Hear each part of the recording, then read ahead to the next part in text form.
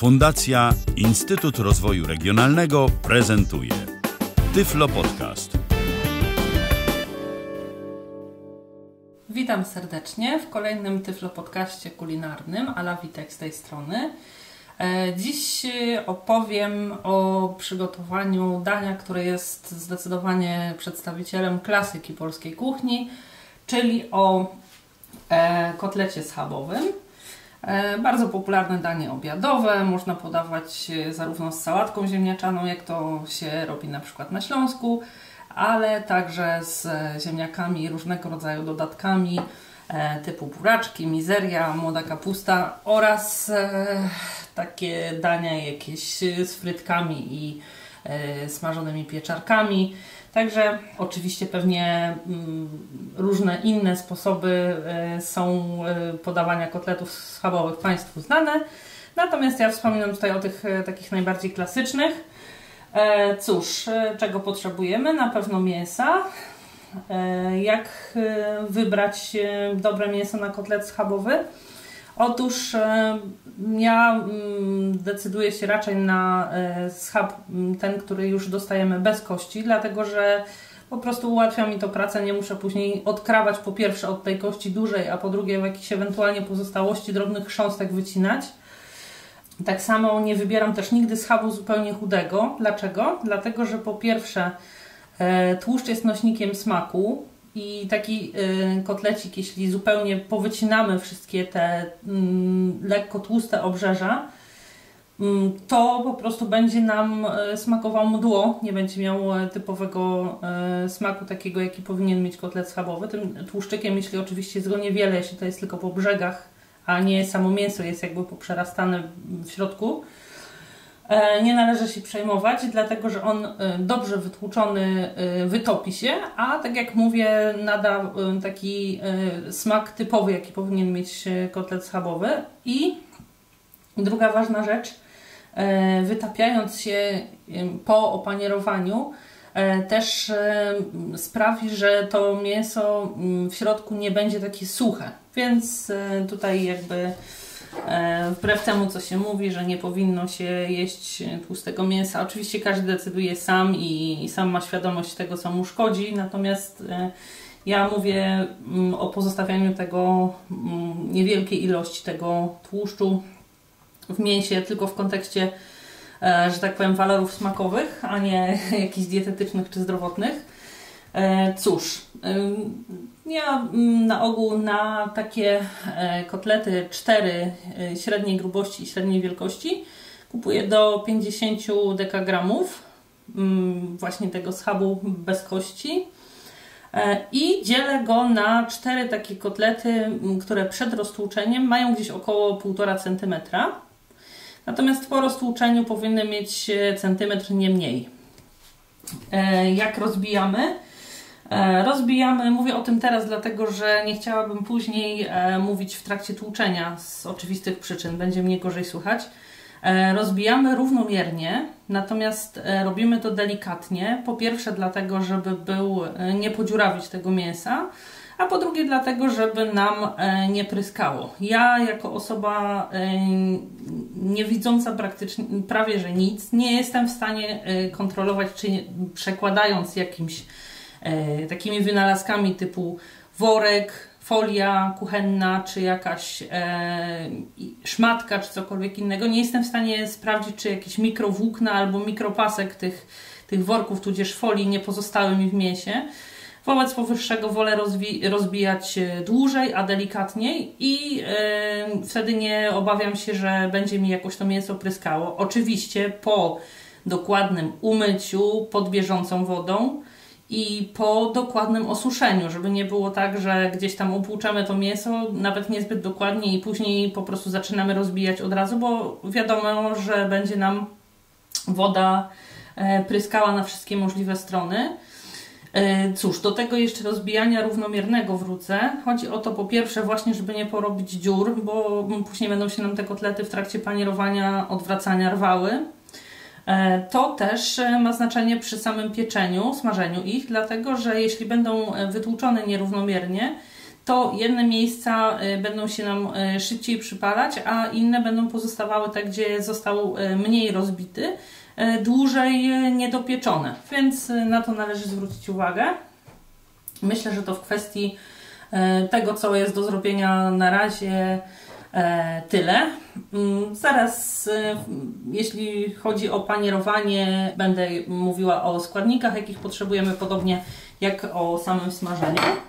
Dobrze, to na początek e, porozbijam.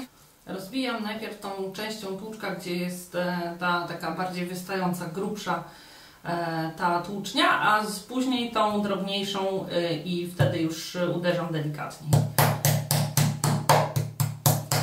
odwracam sobie raz to na jedną, raz to na drugą stronę i po prostu poprawiam w tych miejscach, gdzie nie jest jeszcze rozbity równo.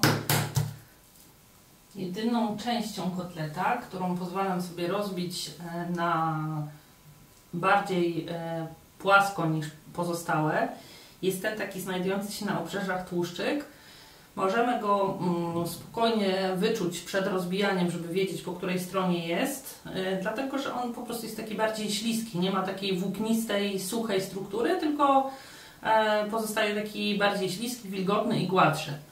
I tą część można sobie spokojnie rozbić troszeczkę cieniej. Po opłukaniu kotletów możemy je sobie odłożyć na papierowy ręcznik i posypać solą i pieprzem. Powiem jeszcze, że do rozbijania kotletów używam e, zawsze tłuczka metalowego. Nigdy nie drewnianego. Jakoś mam oporę przed e, używaniem drewnianego tłuczka do mięsa.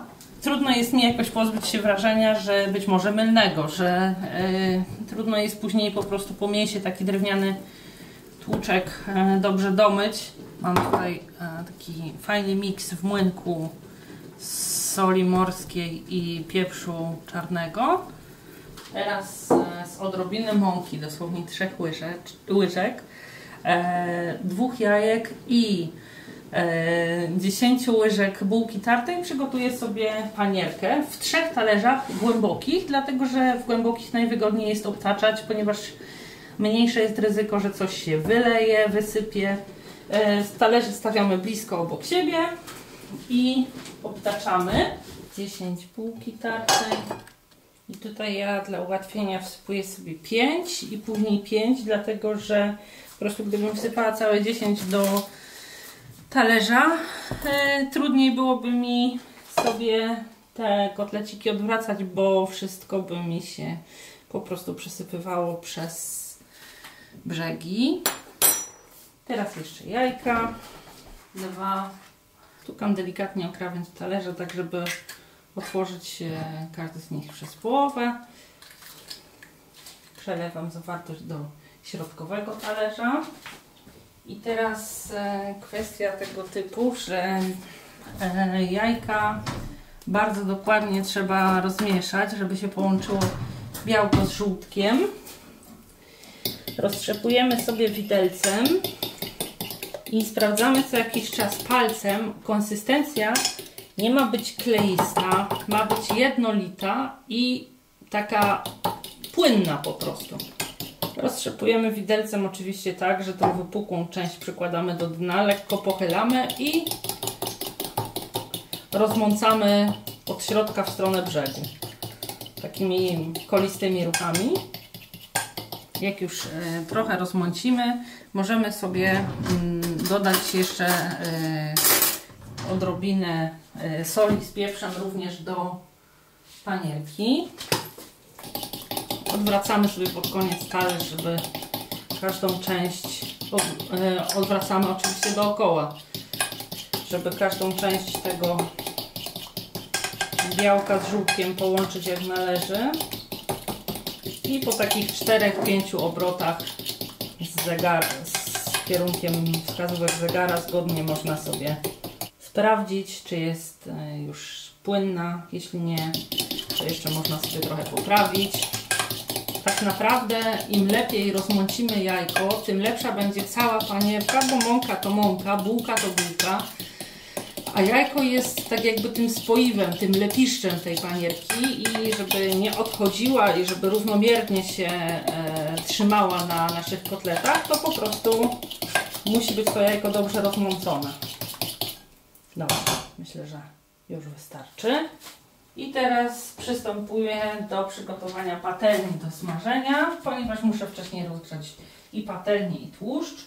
Ja sobie smażę na patelni dużej, takiej 28 cm średnicy na dużym palniku, żeby cała patelnia była jednakowo podgrzewana, ale na stosunkowo niewielkim ogniu. Więc chwilę zajmie jej nagrzanie. E, smażę kotlety na smalcu tradycyjnie. Można też smażyć na klarowanym maśle, ale po pierwsze masło ma więcej cholesterolu od smalcu, a po drugie e, smak e, kotletów smażonych na E, maśle jest gorszy niż tych smażonych na smalcu, nie mówiąc już o smaku kotletów smażonych na olej. Przesmażenie czterech takich sporych kotletów zużywam około 2 piątych kostki, gdzie dzielę oczywiście. Najpierw pierwsze dwa smażę na jednej piątej i kolejne dwa też. Bo jednak ten tłuszcz musi się roztopić, musi go być na tyle dużo, żeby po prostu E, te kotlety do połowy z jednej i później z drugiej strony były w nim zanurzone i żeby e, też nam się nie przypaliły. Jeśli się taka sytuacja zdarza, że nam się przypalą, musimy albo wymienić patelnię razem z tłuszczem, jeśli mamy drugą taką samą, albo po prostu ostudzić patelnię na tyle, żebyśmy mogli ręcznikiem papierowym tą przypaloną panierkę po prostu z niej zebrać, bo e, będziemy na dobrze usmażonych pozornie kotletach mieli e, jakby tą zostawioną, przyklejoną panierkę e, spieczoną z poprzednich. Co oczywiście nada im smak spalenizny. Nagrzewam sobie teraz patelnię, która musi być nagrzana naprawdę porządnie. Żeby to sprawdzić, kładziemy mniej więcej na powierzchni, na równo z krawędzią tej patelni. I jeśli czujemy takie gorąco y, od tłuszczu, to po prostu wiemy, że jest już dobrze e, nagrzany. Możemy sobie tutaj e, przystąpić na razie do panierowania. Na początek delikatnie tylko tak muskam powierzchnią kotleta mąkę. Później zanurzam w jajku. Zanurzam dokładnie tak, żeby każda część mogła się tym jajkiem nasączyć i nadmiar lekko otrząsam nad talerzem. Ten nadmiar musimy otrząsać zawsze, żeby po prostu panierka była równomierna i żeby nigdzie nam nie odstawała. Następnie wkładam do bułki tartej, też obtaczam, wstrząsam nadmiar i na sekundę zostawię ten jeden. Zaraz dołączy do niego drugi i oba trafią na patelnię. I w momencie, kiedy ten drugi wkładam do tartej bułki, poprzedni już kładę na patelni. Układam go równo. Z wierzchu jest zimny, można spokojnie zrobić i sprawdzić palcami. I obtaczam sobie w bułce ten drugi kotlecik. Też otrząsam nadmiar i jego również układam na patelni obok poprzednika. Można na początku, zanim się wprawimy w kładzeniu, w odwracaniu, piec pojedynczo. Oczywiście pieczenie kotletów nie zabiera bardzo dużo czasu, więc spokojnie można sobie to robić pojedynczo. Wtedy łatwiej jest odwracać, jeśli nie mamy wprawy, kontrolować jak się nam smażą. I nastawię sobie na 4 minuty czas pieczenia z jednej i później na 4 minuty czas pieczenia z drugiej. W międzyczasie oczywiście mogę sobie pozostałe dwa opruszyć mąką, obtoczyć w jajku i bułce tartej. Nie jestem w stanie podać Państwu jakiejś konkretnej metody, jak sprawdzić, czy już kotlet jest, nadaje się do zdjęcia z patelni, czy też e, odwrócenia na drugą stronę. E, w przypadku odwrócenia na drugą stronę jestem w stanie podać ewentualną metodę zbliżoną. Jeśli podnosimy e, na tej szpatułce, którą odwracamy kotlet i czujemy, że on się nie ugina po tych 4 minutach, to generalnie można założyć, że spokojnie już będzie się nadawał do odwracania. Myślę, że też każdy z Państwa e, znając własny piec, jakoś tam e, opracowywując sobie jakieś własne sposoby na przygotowanie, e, też dochodząc do wprawy będzie mniej więcej w stanie oszacować jak to wygląda. Oczywiście jest to różnie trochę też, zależy to od mięsa. No w moim przypadku akurat na ogół te 4 minuty z okładem, tak, i 4 minuty po drugiej stronie w zupełności wystarczają na ten e, na to zrumienienie się kotleta rozbitego na taką grubość e, i odpowiednie wysmażenie go w środku, ale oczywiście zdaję sobie sprawę, że nie zawsze musi to wyglądać tak samo. Dlatego nie chcąc wprowadzać Państwa w błąd i nie podam jakiejś jednej konkretnej metody. To po prostu trzeba sobie kilka razy zrobić. Być może e, przez pierwsze 2-3 razy przy czyjejś pomocy, żeby się upewnić, jakoś sobie opracować ten czas, jaki będzie wystarczający. Delikatnie sprawdzam. Odwracam pierwszy, odwracam drugi. Jeszcze sobie wyrównam, żeby wysmażą mi się jednakowo. Delikatnie rozciągnę, odsunę od siebie, tak żeby żadna część nie pozostała surowa, żeby nie opierała się drugiego kotlecika. Opłuczę sobie teraz ręce i też nastawię na kolejne 4 minuty. Wykonanie tego dania, jak pewnie sami Państwo zauważyliście, nie jest zbyt trudne. Troszeczkę problematyczne jest właśnie odwracanie i, i upewnianie się, czy jest właściwie wysmażone, ale samo przygotowanie nie przedstawia jakichś większych trudności, więc mam nadzieję, że poradzą sobie Państwo. Na koniec przypomnę składniki. E, na pół kilograma schabu bez kości e, do opanierowania potrzebujemy 4-5 łyżek mąki, dwóch jajek i e, około no, 8-10 gdzieś łyżek tartej bułki. To w zależności od wielkości tych kotletów, jakie Państwo będą przygotowywali. Lepiej sobie na początek wsypać mniej później dosypać w miarę potrzeb. Oczywiście jeszcze sól, pieprz, do przyprawienia oraz e, smalec do smażenia. I to właściwie wszystko. E, cóż, życzę powodzenia i w trakcie przygotowywania tego dania i wszystkich innych, które proponuję Państwu w Tyflo, w tyflo podcaście. E, zapraszam do słuchania kolejnych naszych audycji, nie tylko kulinarnych, a dziś dziękuję już za uwagę. Życzę oczywiście smacznego i do usłyszenia. Kłaniam się Ala Witek. Był to Tyflo Podcast.